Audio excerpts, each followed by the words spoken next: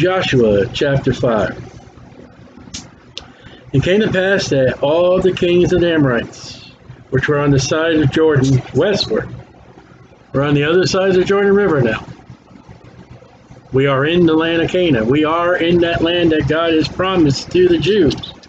We are in a land of enemies. We're in heavily populated and walled cities. And the kings of the Canaanites, which were by the sea, heard that the Lord had dried up the waters of Jordan from before the children of Israel. There was no radio TV back then. There was no vans. There was no media, no news organizations, but the word got out. Israel, the God of Israel. We need to be afraid of them. We need to worry about them. Look at chapter 2, verse 10. Joshua 2.10. And let's, for we have heard how the Lord, capital L, capital O, capital R, capital D.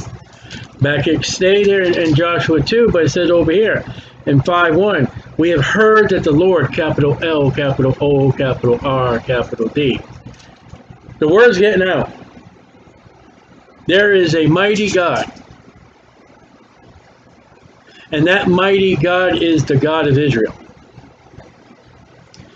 And if your God that you're relying on today is not the God of Abraham, Isaac, and Jacob, you got the wrong God. So Rahab 2.10, well, we have heard how the Lord dried up the water of the Red Sea for you. So see, they found out about that again. That word stretched out. Here comes a group of people. Balak wants to hire Balaam because here comes this strong people, and we can't beat them because of their God. Because of their Lord Jehovah. Dried up the water of the Red Sea for you when you came out of Egypt. So the testimony's there. And what ye did unto the two kings and Amorites that were on the other side of Jordan, Sihon and Og, whom ye utterly destroyed. And all the kings of the Canaanites that were on, this, on by the sea heard that the Lord had dried up the waters of Jordan from before the children of Israel. And there are wonderful, mighty acts that are in a Christian life. And they ring out to others. Our life as a Christian to others, look at that controversy, look at that raging waters that guy's going through, and yet, look what his God has done for him. Look at this big body of water, man, this travesty, this, this thing in their life, man, how are they going to get through it? And yet the Lord pro provides a dry land. And the media get, gets around, like, uh, I'm a kind of person, I will read the headlines. If it's interesting, I'll open up. I'm not newsless. And yet I don't put my time into news. I look at the headlines. I may miss a lot, but I don't miss a lot through the Bible. I get the, the big stories. And what we see here is by Jericho with Rahab telling us, and what we see with the kings of the children in the Canaanite land, God's a mighty God. And when the world looks at that, they fear. He said, well, why is there no fear today of God? Because the church has taken on the world and acted and be as the world.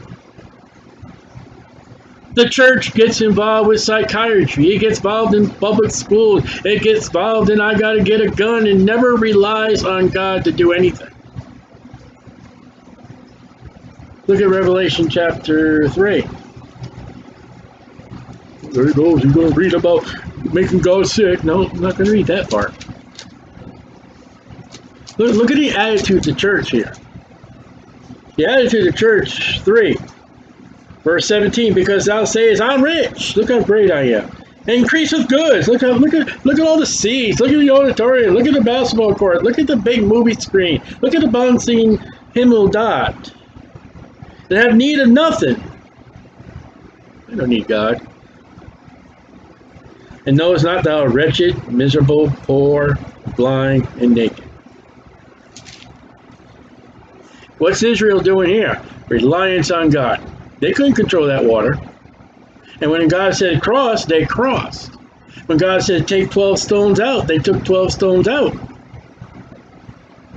And that time the Lord said to Joshua, Make these sharp knives, and circumcise again the children of Israel the second time. Now look, here we go again.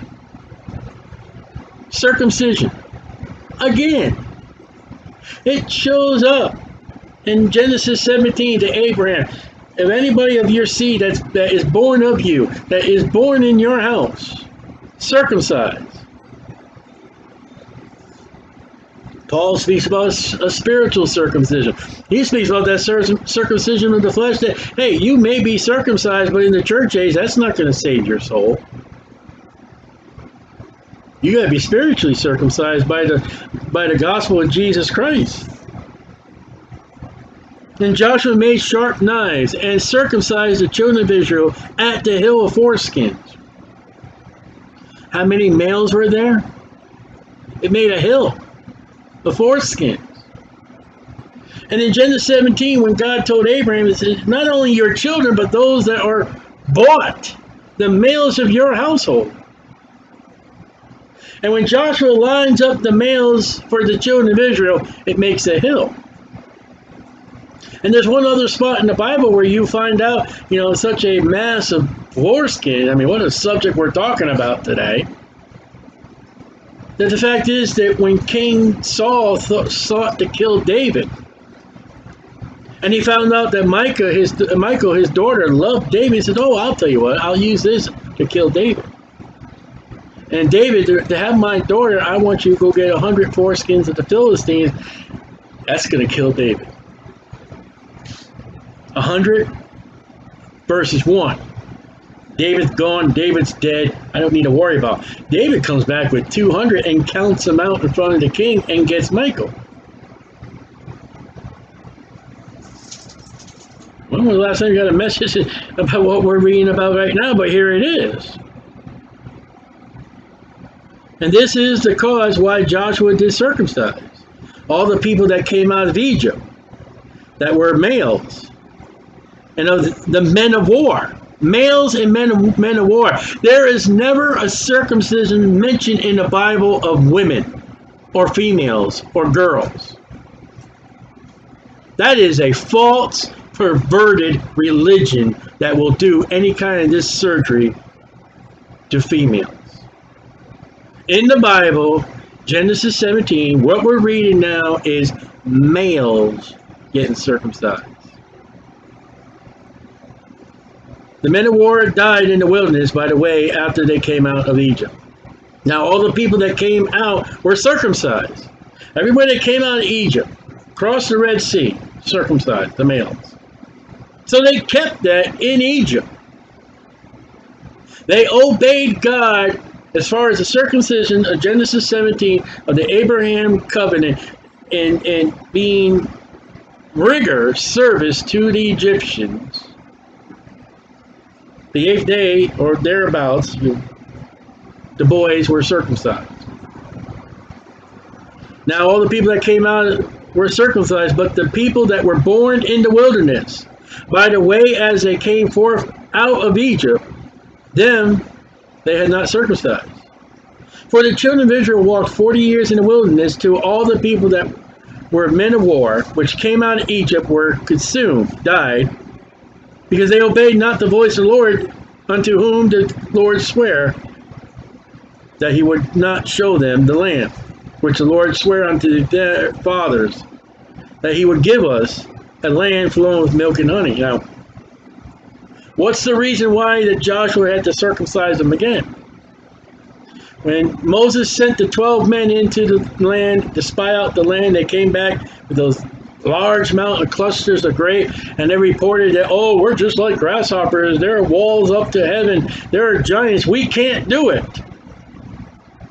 And God says, for 40 days, you sent those spies for 40 years, you're going to walk in the wilderness. And during that 40 years of that wilderness travel, just going around in circles till everyone died, no one circumcised their children. Rebelling against God. And now we are in the land of Canaan. We are in the promised land, the, the Jewish people. And the first thing we're going to do is that we cross that river.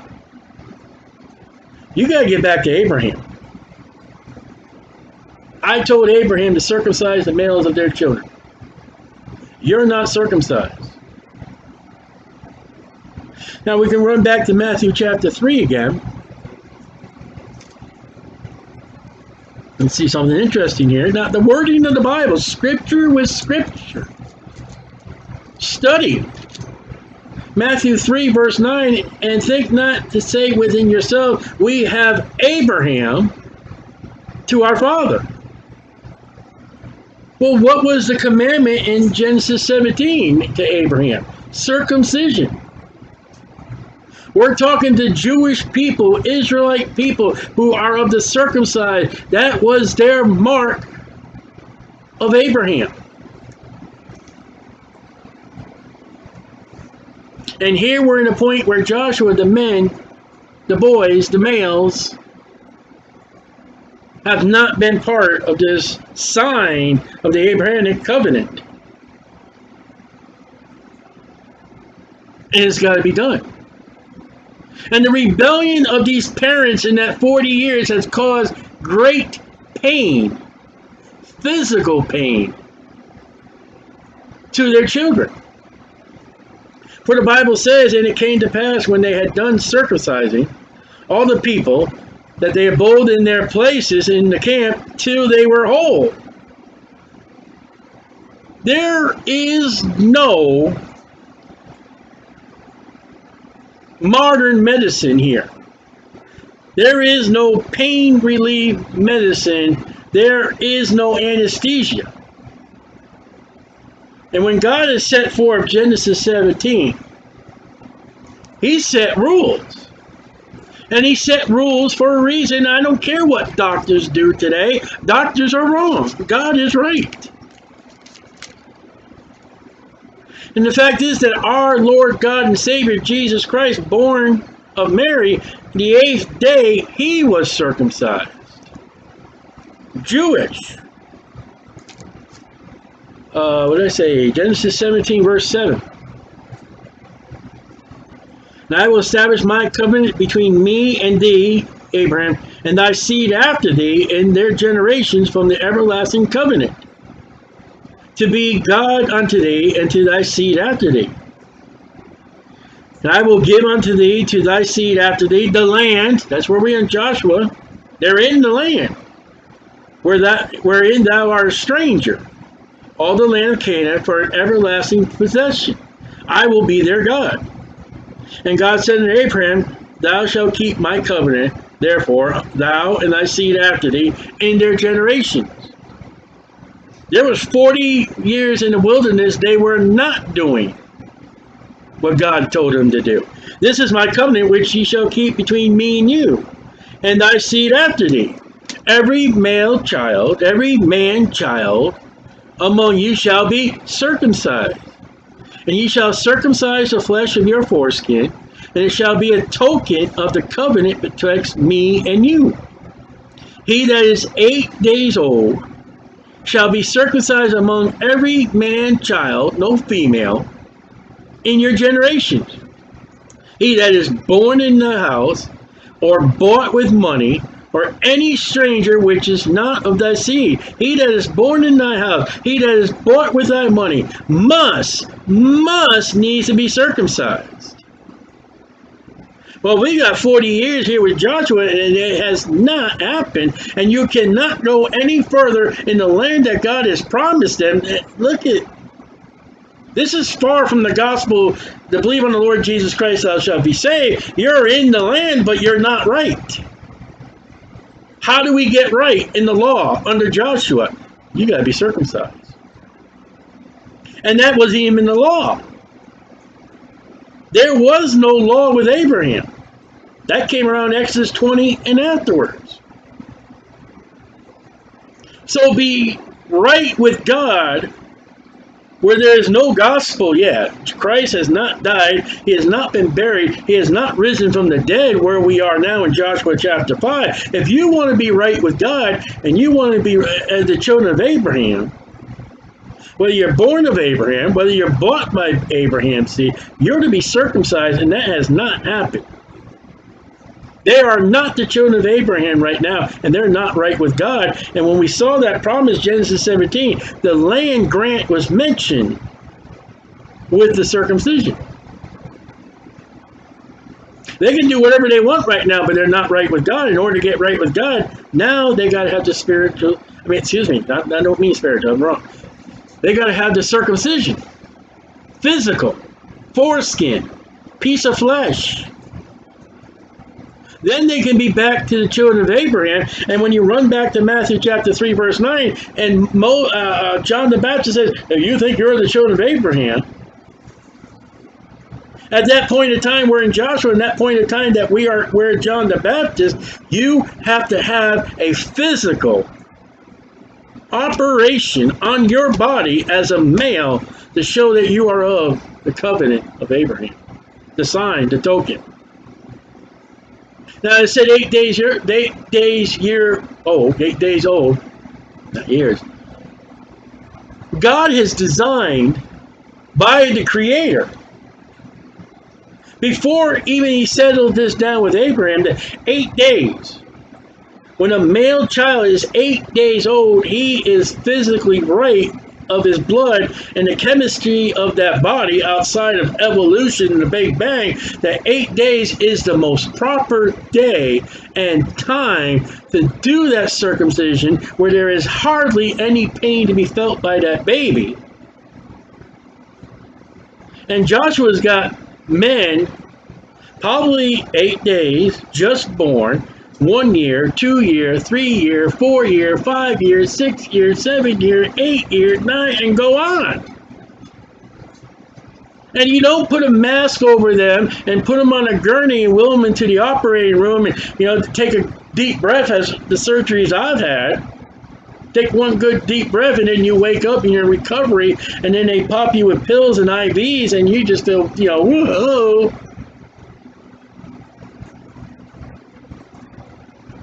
No. This would be a very painful surgery.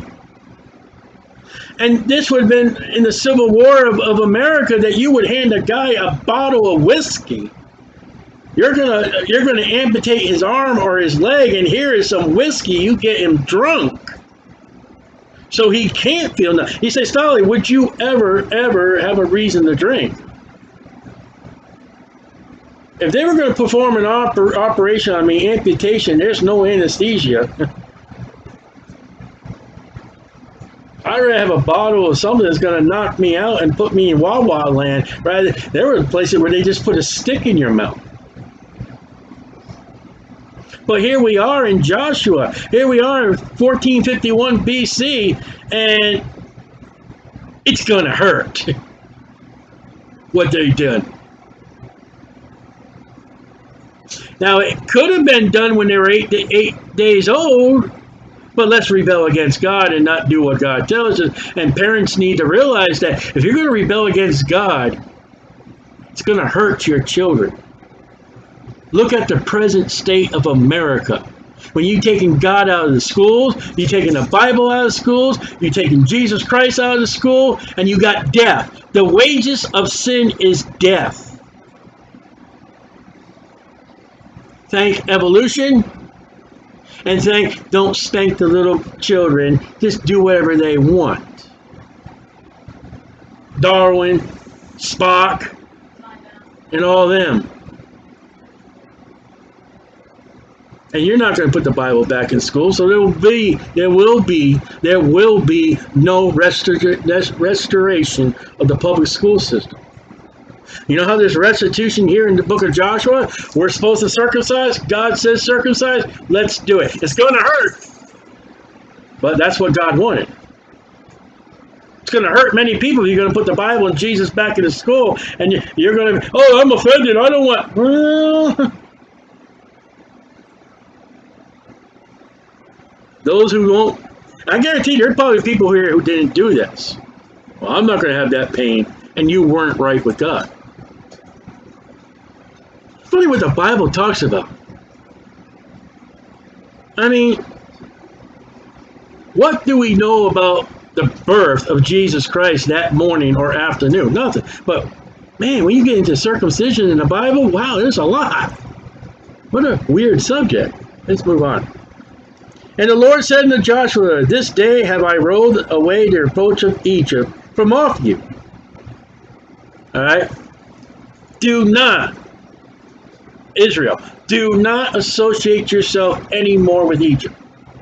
You are in your land. That's Egypt's land. God's forever going to tell them, don't go back, and they, they will go back. You are not under the gods of the Egyptians anymore. You're not under the bondage and slavery of the Egyptians anymore. You are, the Egyptians didn't have circumcision. You do. You are not under the Egyptian cause anymore. You are in your land again. You are not in their land. I have rolled off you the Egyptian thing. Don't take their gods. Don't take their dress. Don't take them. You are children of God. You are children of Abraham. The circumcision, all that is gone. Isn't it great when the Lord Jesus Christ took the reproach of the world and sin off you and washed you and made you clean? And when Satan comes back and says, You remember that thing, Sally, when you were 10 years old, you did that? I say, Listen, I was saved when I was 18. So what I did when I was 10, April 21st, 1987, when I received Christ as my Savior, even though Satan in my flesh will bring that up, that's under the blood. There's no more reproach. It's gone, rolled away at the empty tomb. It's under the blood. You are now Jewish people. You are now the children of Abraham. You are not Egyptian. You are in your land. Isn't that great? Excuse me. Allergy. Wherefore the name of the place is called Gilgal unto this day. Excuse me. Rolling means rolling. As I said last night, go and look under the videos about Gilgal and archaeology. It's amazing. It's wonderful. Dr. Adam Zert, Z-E-R-T. My terrible writing is either A-L or A-H. I write terrible. You don't want to see my terrible writing. And the children of Israel encamped in Gilgal and kept the Passover on the 14th day of the month at even in the plains of Jericho. Here we got a date. Abib, 14th, 40th year coming out of Egypt, we have kept the Passover. We've got Joshua, Jehovah saved. We got Jesus, Jehovah saved. What is this mark here? Well, approximately, uh, I, I have trouble with the BC and all that. Approximately 1451 years and another 30 years. So I'm going to say approximately 1500 years. I'm off by that, but let's say 1500 years from this date of Joshua. Jehovah saves. Jehovah saves Jesus is going to climb Mount Calvary, being beaten, being spitted upon with a crown of thorns, to be nailed on the cross. At even, he will die as the Lamb of God which take away the sin of the world. How's that? So in Joshua, we're looking at Jesus. And we've got a date. And I don't think the resurrection of Jesus Christ would have been on April Fools. if you're a, if you're a person "Well, happy Resurrection Day on April 1st," you're a fool. Our calendar is Roman Catholic, friend. It ain't Jewish. Jewish people go by the moon, not the Baal. Almighty Baal, sunrise service. Almighty Baal. Oh, we worship the sun, S-O-N. Yeah, change it whatever you want. They even changed the name of that star. E-A-S-T-E-R. So you can worship the gods, just give them new names. And they did eat of the old corn of the land on the morrow, after the Passover. Unleavened cakes, parched corn the self same day. Abib 15th, the feast of unleavened bread, 40 years after coming out of Egypt.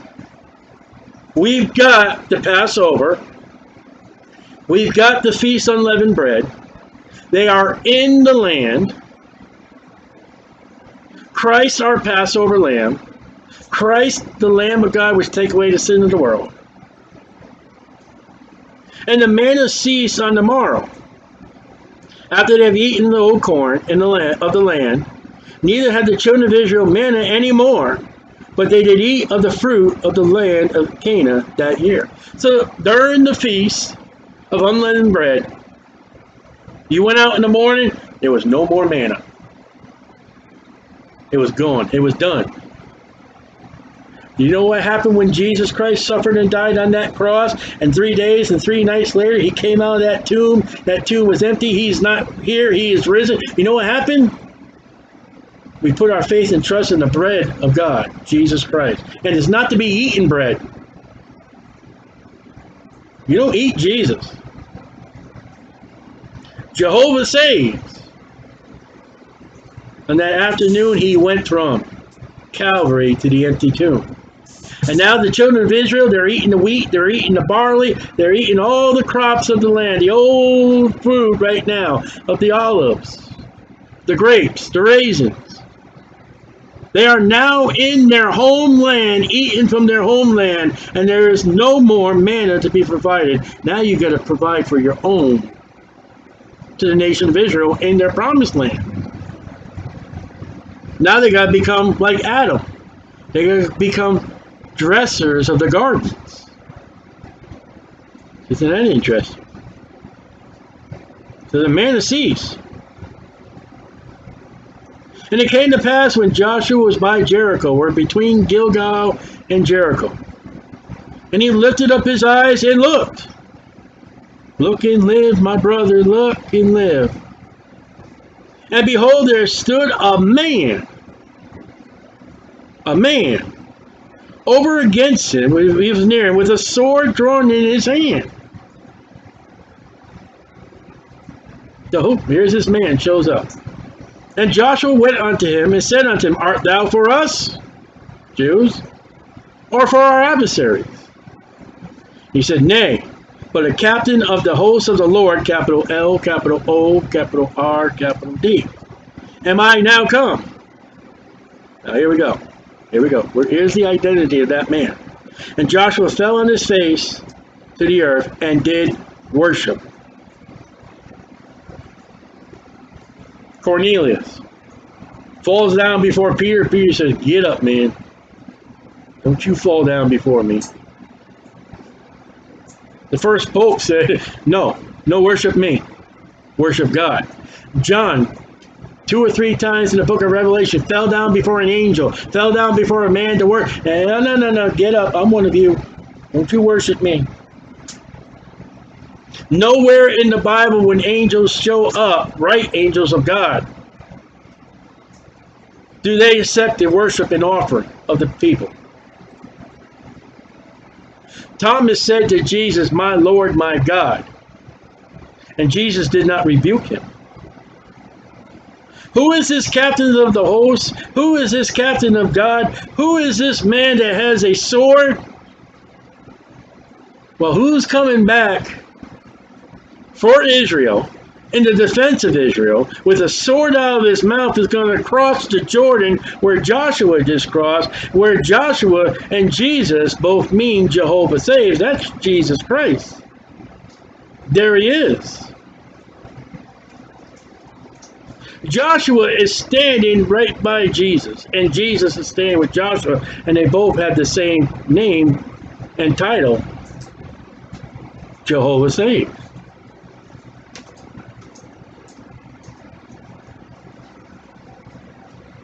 He fell on his face to the earth and worshipped and said unto him, What saith my Lord? Now that's a small L because he doesn't know who he's dealing with. He doesn't know it's God, Jesus Christ. Unto his servant. And the captain of the Lord's host said unto Joshua, Loose thy shoe, take off your shoe, from off thy foot. For the place where thou standest is holy. And Joshua did so. Take off your shoes. Right there is holy. Now we got another event like that in Exodus 3 5. Exodus 3 5. And more uh, we'll start in verse number 2. And the angel of the Lord, angel of the Lord, appeared unto him, Moses, in a flame of fire, out of the midst of the bush. And he looked, and behold, the bush burnt with fire, and the bush was not consumed. Well, that's a miracle. And Moses said, I will now turn aside and see this great sight. Why the bush is not burnt. It's burning, but it's not burnt. Should have consumed itself by now.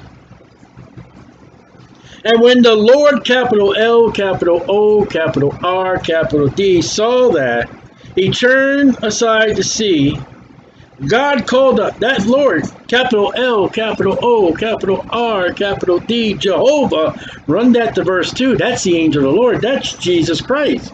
Jesus Christ shows up to Joshua. Jesus Christ shows up to Moses. In verse 5, he said, Draw not nigh hither. Put off thy shoes from off thy feet. Jesus the angel of the Lord in the Old Testament tells Moses and tells Joshua, Moses the lawgiver, Joshua the one that brings them into the promised land, remove your shoes.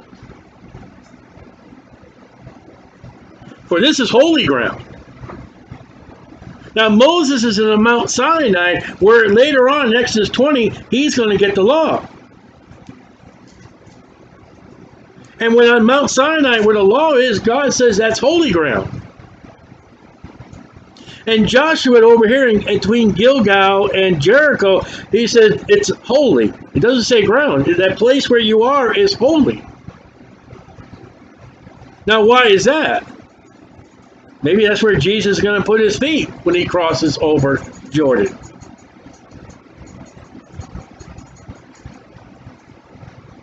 Never mind holy water, you got holy dirt. Holy mountain, holy place.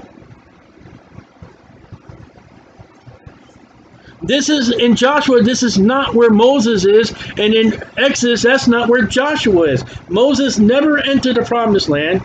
Joshua did not go back to Mount uh, Sinai. We've got the giver of the law. Take off your shoes. You're in a holy, holy ground. You got the one that brings the children over the Jordan River into the land, and he says, "Take off your shoes. The place where you are is holy."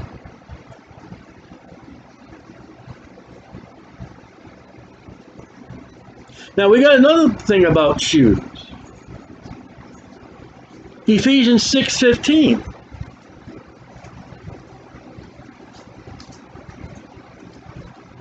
Ephesians 6:15. This gets better. And your feet shod with the preparation of the gospel of peace. Moses and Joshua were told, remove your shoes. Paul writes to the Ephesians says, put shoes on. God says, here, here's some shoes. What are they? It's the gospel. Moses and Joshua did not have no gospel to give to the people. They had the law. Christians, go in all the world, go, put your shoes on, and preach the gospel. You put it on your shoes.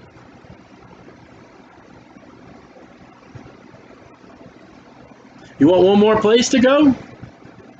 You want to go further? Interesting. Romans chapter 10. Romans chapter 10. And we'll start in verse 13. Romans 10 13. We're looking at taking off your shoes, putting on your shoes. To the Jewish person, that land of Palestine, that land of Canaan, that's their heaven. That's their all things are all things. And people say the church age is under the law and, and there's no difference. Why are we putting our shoes on? Why are our shoes the gospel? When Moses and Joshua, the two leading men of the children of Israel, take off your shoes. There is no holy ground for a Christian. There is no holy place for a Christian except for New Jerusalem. We're not told pray east, north, west, south, whatever. We're told pray to God through Jesus Christ, through the Holy Spirit. Now, Romans chapter 10, verse 13 For whosoever shall call upon the name of the Lord, sorry, shall be saved. Amen. Glory to God. How then shall they call on him in whom they have not believed? I don't know. How shall they believe in him whom they have not heard? I don't know. And how shall they hear without a preacher? Going all the world, preach the gospel. How shall they preach except they be sent? Go, as is written. How beautiful are the feet of them. Feet. Feet, Ephesians. Feet. What do you put on feet? Shoes. That preach the gospel of peace. There's Ephesians. And bring glad tidings of good things. Look at that. We're told to put shoes on. What are the shoes? Ephesians 6.15. It's the gospel. That's remarkable.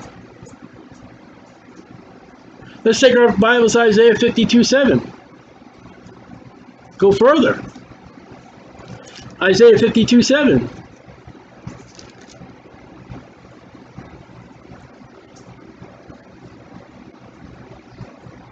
Paragraph. Isaiah 52 7. How beautiful upon the mountains are the feet of him, him that bringeth good tidings and publisheth peace and bringeth good tidings of good that publish salvation that saith unto Zion, Thy God reigneth. Over here it says gospel. In Isaiah, there is no gospel because Jesus had not died according to scriptures. He was not buried. And he arose, had not risen from the grave according to scripture.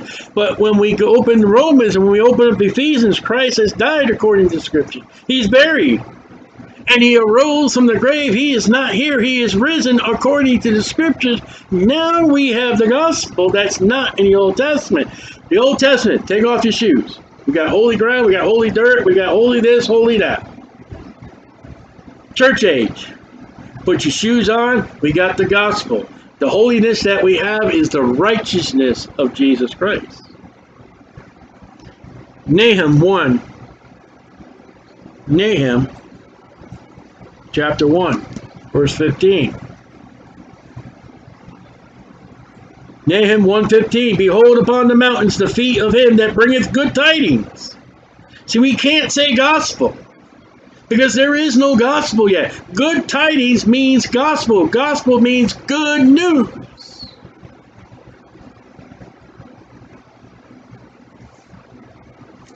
The law wasn't good. The law was to show that I was a sinner. When I came to Christ, thou shalt not steal. I've done that. Well, you're condemned. Oh. Thou shalt not bear false witness. Oh, I've lied. Oh. Thou shalt not look upon a man to lust after a woman in his heart. Here, therefore, he committed adultery. 528 Matthew. Oh, I've done that. Thou shalt put God first. Ooh, I've done that. Thou shalt have no idols. Oh, oh, man, the laws keep showing me I'm condemned. That's not good. When I look at the law, I see I'm condemned, I'm a sinner. That's not good because the wages of sin is death. So, what is the good news? The gift of God is eternal life through Jesus Christ our Lord. That's the gospel. That's what go in all the world and preach the gospel that Jesus saves. The law condemns, but Jesus saves. Oh, Judah, keep the, thy solemn feast. That's not me. Perform thy vows. That's not me.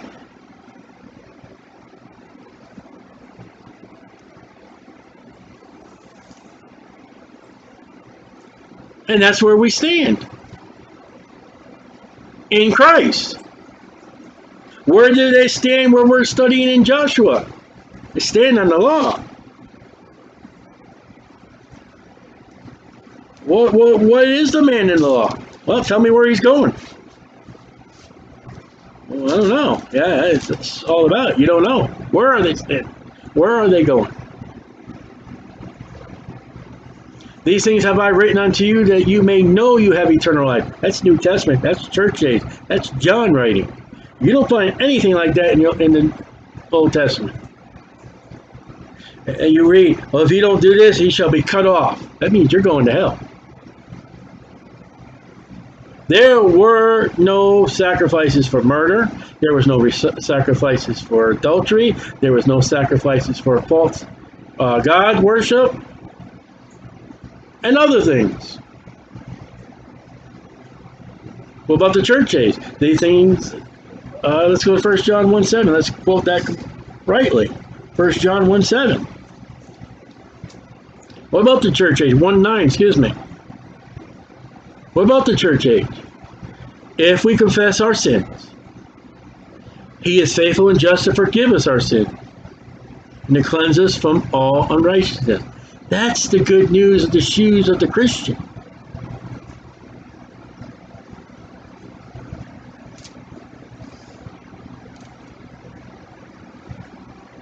So in the law, remove your shoes. In the nation of Israel with the land, remove your shoes, Moses. Moses is on the mountain of the law. Soon will be happening. Joshua's in the promised land. Take off your shoes. Christ has died. He's been buried. He arose from the grave. Put your shoes on. We have no more earthly tabernacle. We have no more worldly place. This world is not my home. Get out there as an evangelist. Get out there as a pilgrim. Take those shoes and deliver the gospel. Go in all the world and preach the gospel. And one day, whether it be absent from the body, present with the Lord, or come up hither, then we'll get our home. Too many Christians have settled in the world, and we this this is not our settling place. You want to settle in the world, you put yourself where Israel is. That's where they settled in the land. And even then, they didn't do it right.